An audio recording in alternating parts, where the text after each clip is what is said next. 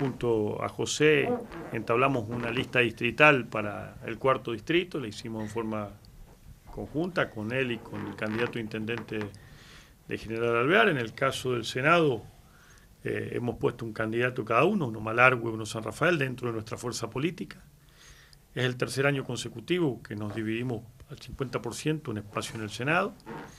Y esto nos ha permitido eh, ir marcando una agenda, ir con un recorrido de trabajo en forma conjunta buscando los intereses del sur. Estoy convencido que, que tenemos que fortalecer al sur de la provincia con una oposición sólida.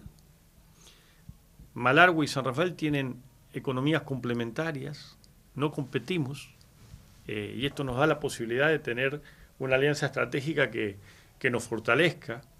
La división del sur durante muchos años nos ha llevado a que las mayores inversiones terminen en el norte, las mayores inversiones de infraestructura estatal terminen en el norte de la provincia y que el sur vaya siendo postergado.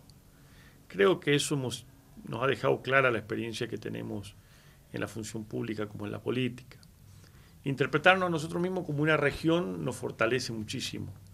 En este sentido, con José, eh, al que he conocido hace bastante tiempo y, realmente me, despertó mucha admiración por muchos sentidos. Primero por su recorrido y por su trayectoria como empresario, empezando bien de abajo y logrando eh, proyectar una empresa malarguina eh, de alta calidad eh, e importantísima en la región. Creo que claramente la empresa del sur de servicio petrolero más importante eh, de la provincia y una de las más importantes, una de las más importantes de la provincia, la más importante del sur. y que él haya hoy adquirido una posición realmente privilegiada en el ámbito empresario le permitiría estar en, en un espacio de confort. Sin embargo, hace mucho tiempo decidió dejar ese espacio de confort para dedicarse a la política. Créeme que en la política no hay confort.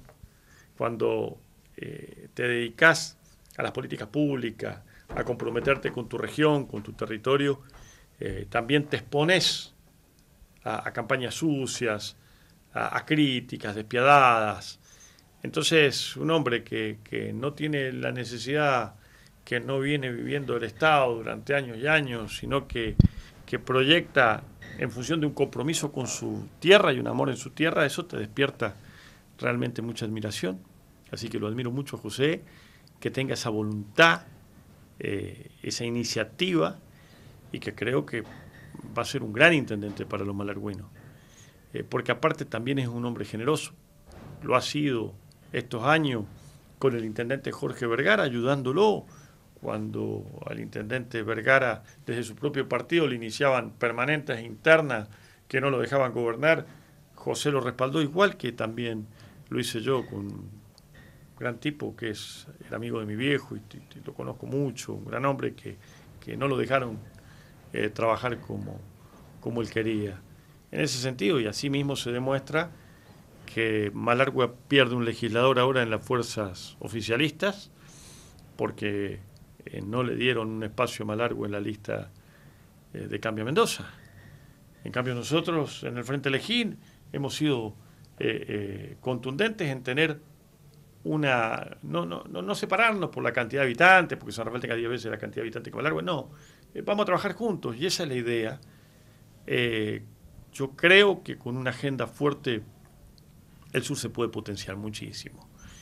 y no quiero perder tiempo en eso también fue iniciativa. Hace pocos días pudimos demostrarle que en la visita de Alberto Fernández, que pudiéramos armar una mesa de agenda con empresarios de Malargüe, de San Rafael y de Alvear, y que le pudiéramos plantear una agenda contundente a Alberto Fernández que tomara esa propuesta y que tomara un compromiso evidente de viviendas para Malargüe, de viviendas para San Rafael, de terminar la ruta 40, de completar el esquema logístico eh, para, para, Paso Las Leñas y las obras que faltan para Paso Pehuenche.